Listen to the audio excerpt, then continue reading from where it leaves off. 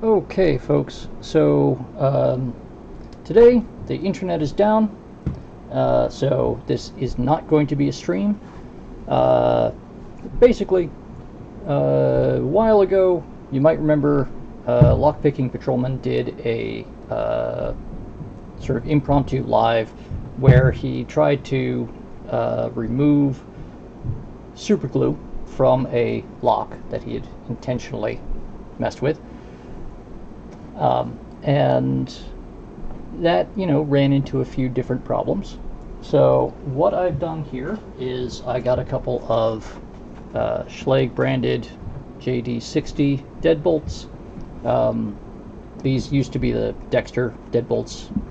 They're now Schlage branded, but uh, yeah, they are like the cheapest Schlage or Allegion uh, deadbolt. Very, very simple thing. Uh, they've got thumb turns on the inside. Both of those are working, although they are dragging a little bit because when I put the glue in, I kind of screwed up and I put the glue in before I put everything on the jig.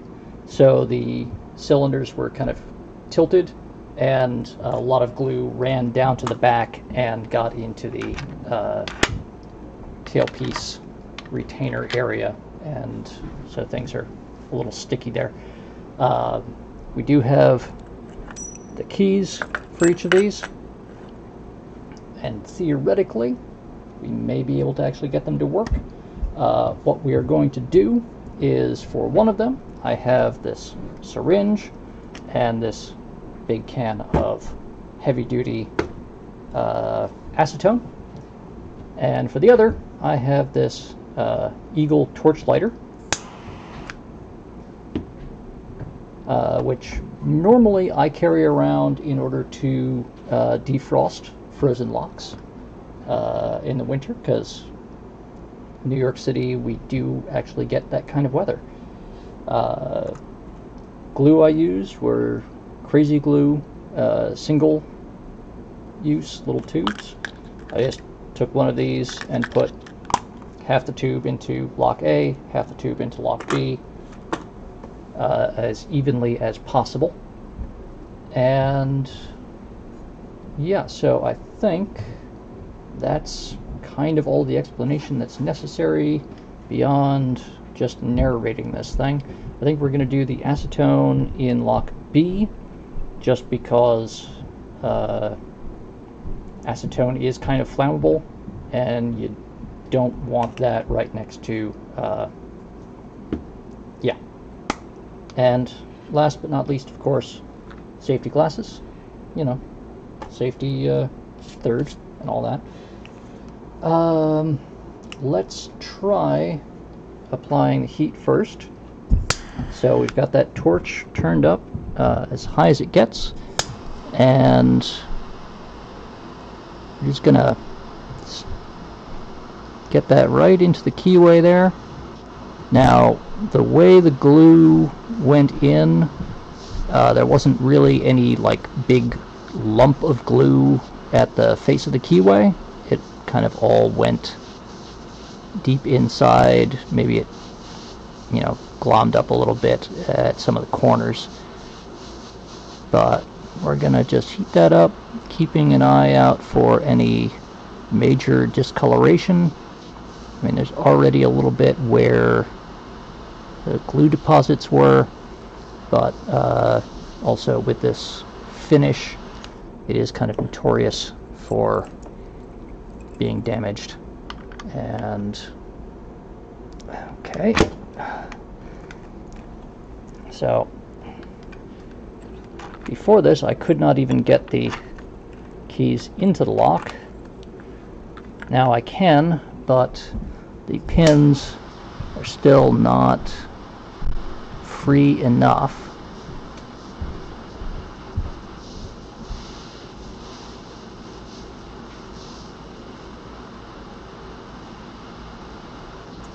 So we're going to just keep doing this for a little bit.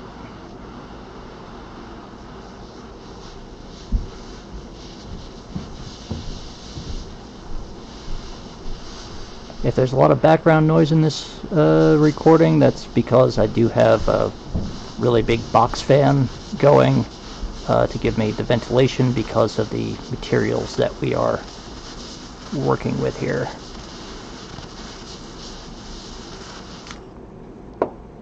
That is already looking pretty toasty.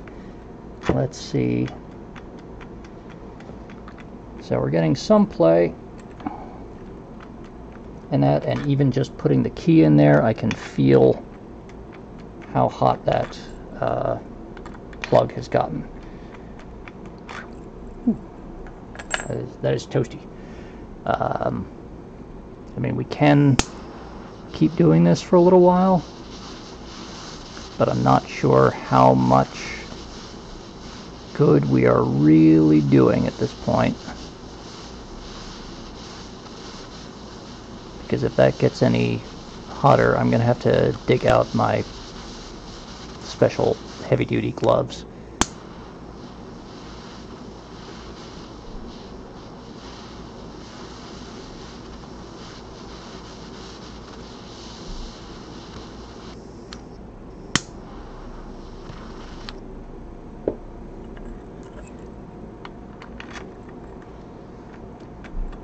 Okay.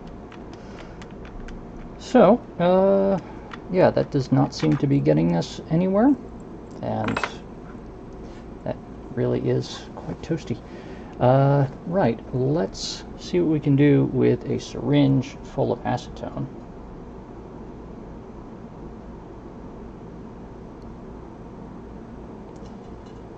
Okay, we got this thing loaded up and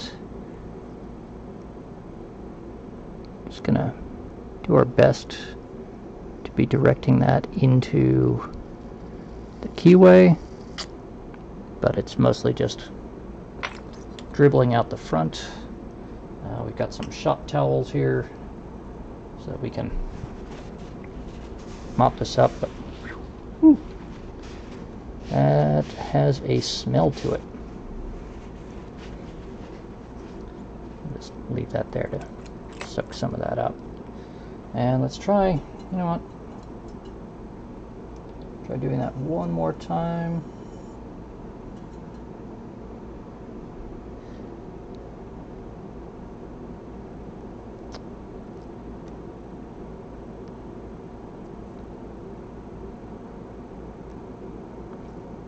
I mean, hopefully some of this is actually working its way into the back of the lock. Obviously, if this were like actually mounted on a real door in real life, uh, you can't tilt it or anything. Uh, so, just give it a moment there. Now, similarly to lock A, earlier on I could not get this all the way into the keyway. Now I can, but it also Hey, hey, result.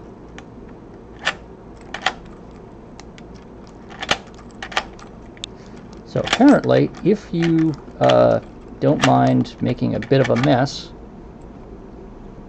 uh, you can, in fact, remove superglue that's been sitting there for half a day or so uh, by just injecting a ton of acetone in there. Uh, and actually you can see here this white stuff looks kind of like cobwebs that's coming out when I remove the key. That's uh, the super glue that's been, or the Krazy Glue that's been melted. So theoretically, you may even uh, be able to get it to the point where the lock will be rendered safely functional again. Um, I would still probably recommend uh, replacing the lock or at the very least giving it a very thorough cleaning once you have gained entry. Uh, you know, take the thing off the door, take the cylinder, if you can disassemble it, if you can't, uh, take the whole thing and dump it in a sealed sealed jar of acetone uh, for half an hour or so at least. Uh, because, yeah, you definitely don't want to leave any uh, glue residue in there if you're going to be trying to keep that lock in service.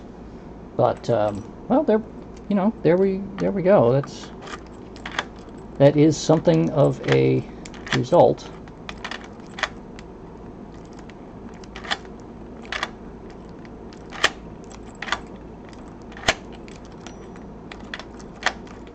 Yeah, I definitely should have uh, mounted all this before I set the jig up because I screwed up the timing on the tailpiece here. But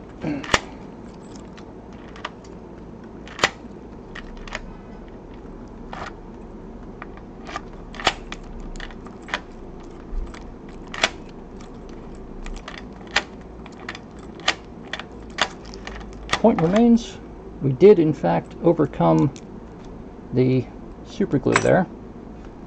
So it is possible.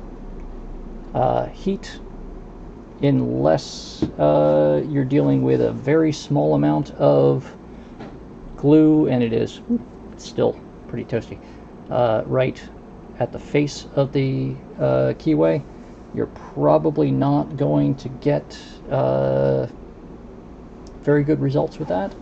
But if you can get yourself a small syringe of some kind, uh, and you don't mind dribbling acetone all over the surface of the door, uh, you can, or at least you, you have a decent chance of being able to uh, get that uh, situation fixed without uh, destructively uh, or without destructively gaining entry.